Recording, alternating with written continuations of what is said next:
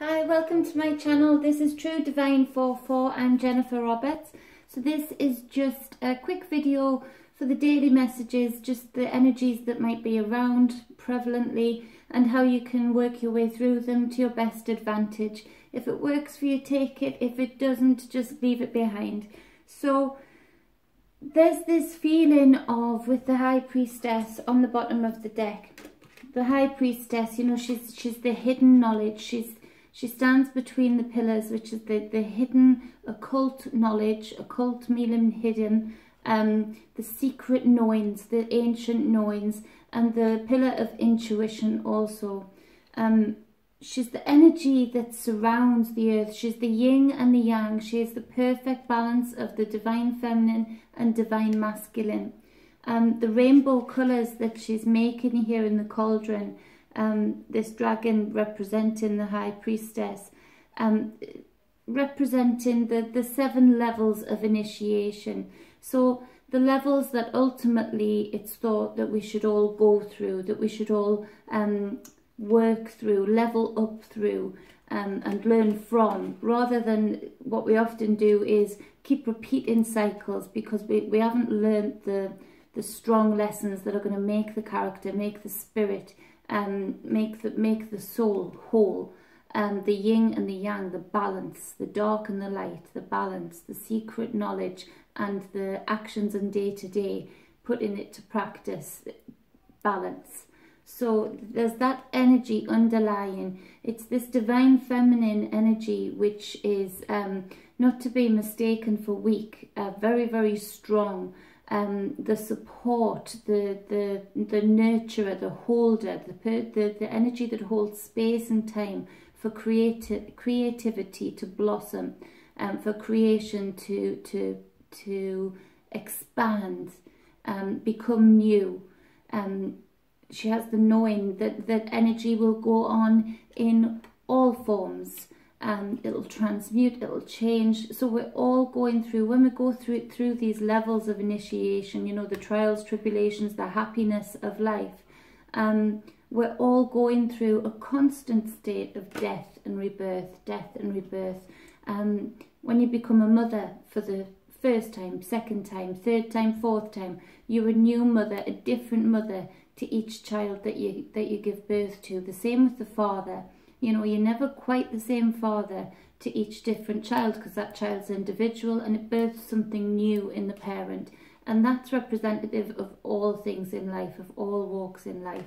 So there's that underlying knowledge, inviting you to know more, to go within, feel your way through things with intuition and try and see the deeper side of, of this this creation that we are, this this this body that we're in right now, this advantage to being able to touch and feel and see and taste things. Um, find gratitude in that. Find this find the the small, simple but huge things in that that you know we we have this experience, we have this lifetime to do what we will to to um to attain everything that we can possibly attain. So this divine feminine is inviting you to spur yourself on, feel your way through, um, do it with in, intuitive um, energy rather than um, action, action, action energy. You know, feel your way through, take your time, but but don't stop, flow, flow through things. So there's that invitation there, the underlying energy of today to be honest, that underlying energy is prevalent right now anyway, this rebirth of the divine feminine, um, rebirthing into everyone's consciousness, um, into into the, the knowing. She's never disappeared, just the people, us, you know, the many who um, decided to ignore the divine feminine and divine masculine. Um, you know, we put a veil over it and, and you know, slowly but surely um, very surely many people are ripping that veil off and experiencing the true nature, the true power behind the divine feminine energy. So the next card is death. So this goes alongside the high priestess, that divine feminine energy so well because this represents what I was talking about before, this constant cycle of death and rebirth death and rebirth, the changing. And so it, it's not meaning today in this reading literal death. It's the it's the don't fear the change, don't fear the transmutation. You know, this this um this scary object here that the death card um carries. Now what is it called? But it's not an axe. I've forgotten what it's called, but it's not an axe. It's actually a farming tool um, to clear the ground for new growth, to, to, you know, make space and time, to invite this divine feminine energy in, to rebirth something new, to really um, delve deep in, into your creative juices and see where you want to go next, see where you want to be um, born into next, what, what walk in life, what action do you want to take, um, what kind of person do you want to be next? And, and you can choose that. You can absolutely decide that and um, do it with intent and, and create beautiful, beautiful things in your life today.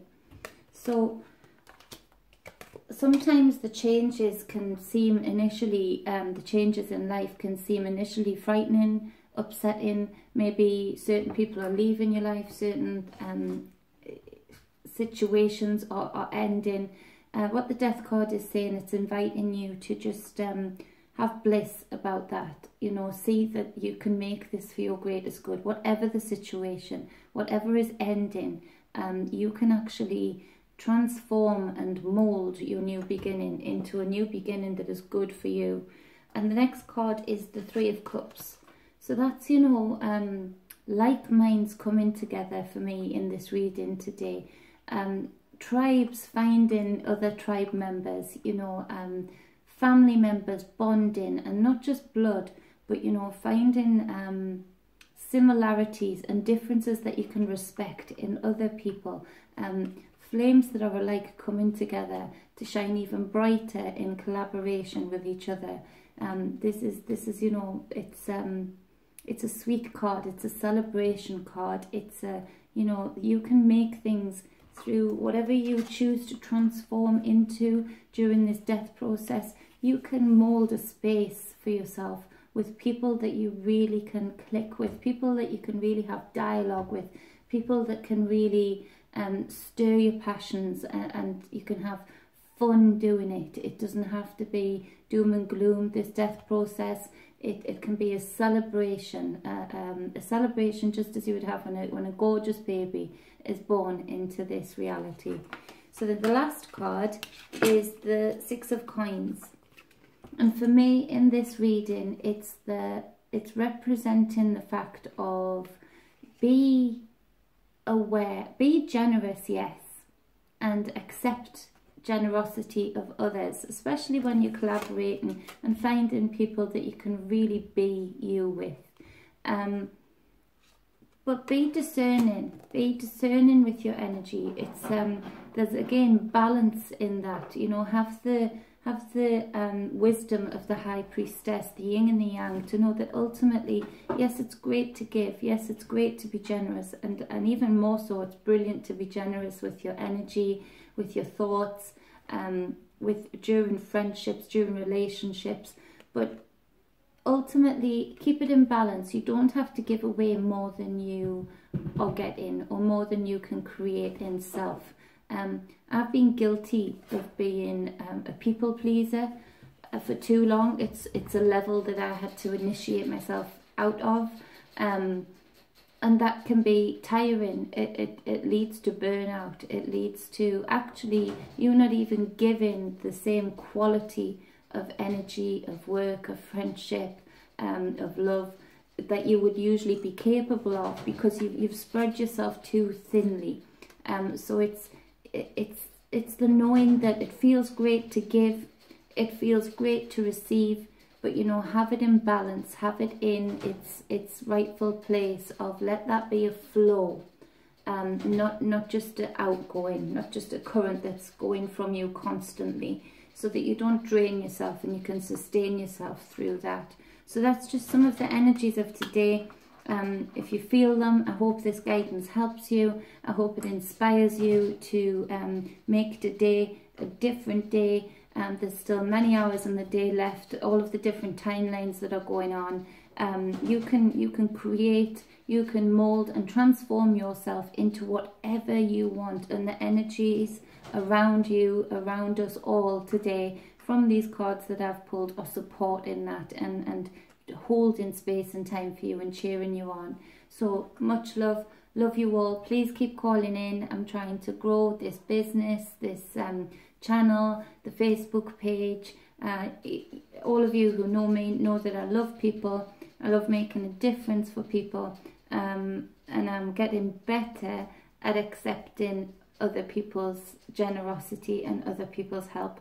So um, I'm putting it out there that I'd like you to share this. I'd like you to keep enjoying whatever I can put out there for you and uh, be whole, be balanced. I love you.